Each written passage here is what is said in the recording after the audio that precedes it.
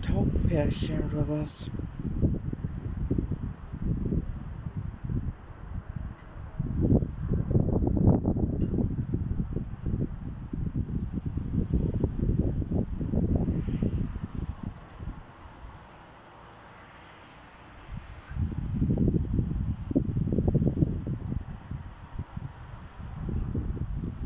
Sind auch wild, die werden auch Wildtaub genannt, will ich weiß.